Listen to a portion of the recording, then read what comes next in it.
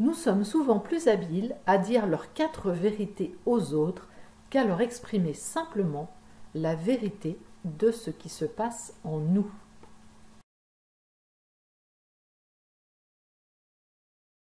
Vous avez peut-être vu la vidéo sur le livre de Guy Corneau, Victime des autres, bourreau de soi-même, et donc je vous disais que j'allais vous partager un autre livre qui donne plus précisément des clés. Il s'agit de Thomas d'Ansembourg, Cessez d'être gentil, soyez vrai.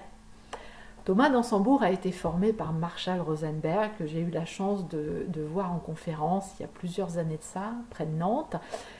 Marshall Rosenberg est donc l'auteur du livre Les mots sont des fenêtres ou bien ils sont des murs. Il est créateur de la, l'outil de la communication non violente avec cette histoire de langage chacal et le langage girafe.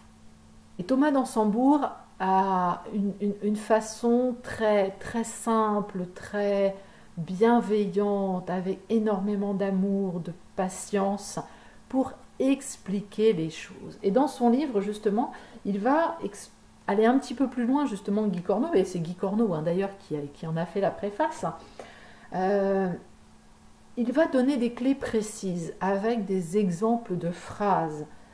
Euh, par exemple, je suis dans la Bon, la plus totale. Rien ne va plus, c'est le bordel dans ma vie. Je suis juste bonne à aller me jeter sous un train. Qu'est-ce qu'on va dire à la place de ça? Eh Bien, par exemple, je viens de perdre mon emploi et mon conjoint m'annonce qu'il veut se séparer de moi. En effet, c'est un peu le bordel. Je me sens paniquée, impuissante, révoltée, comme je n'avais jamais imaginé pouvoir l'être.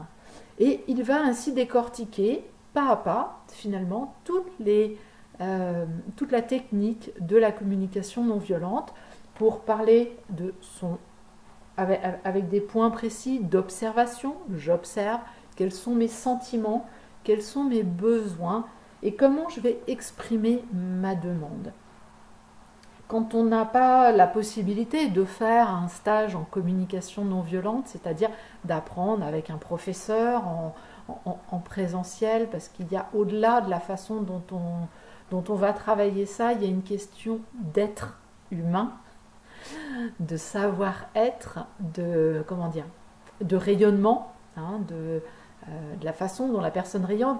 Et, si vous regardez les vidéos de Thomas Dansembourg, c'est juste c'est juste un bonheur. Vous allez sur YouTube, vous verrez, il y a plein de vidéos. Eh bien, ce livre va pouvoir vous aider et m'a aidé à l'époque, hein, parce que bah, à l'époque, euh, YouTube, ça commençait un peu, mais c'était en 2003, 2004 euh, à peu près que j'ai lu le livre. Euh, ça, ça commençait un petit peu, mais c'était pas encore aussi développé que maintenant. Il n'y avait pas autant de vidéos disponibles.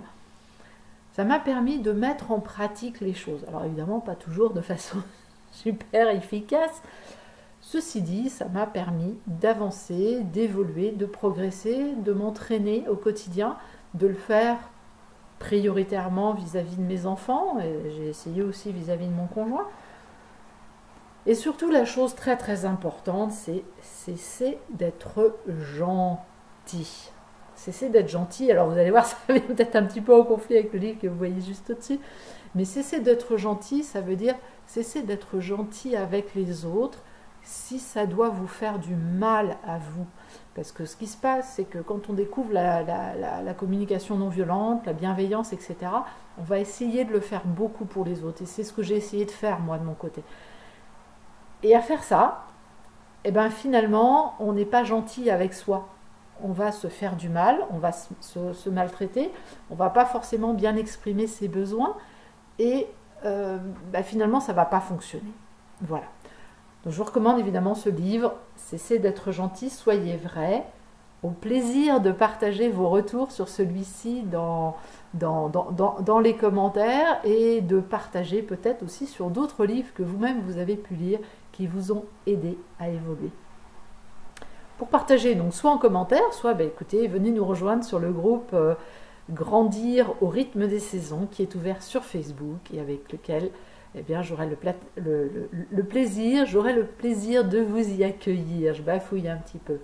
À très bientôt et bonne continuation pour une prochaine vidéo.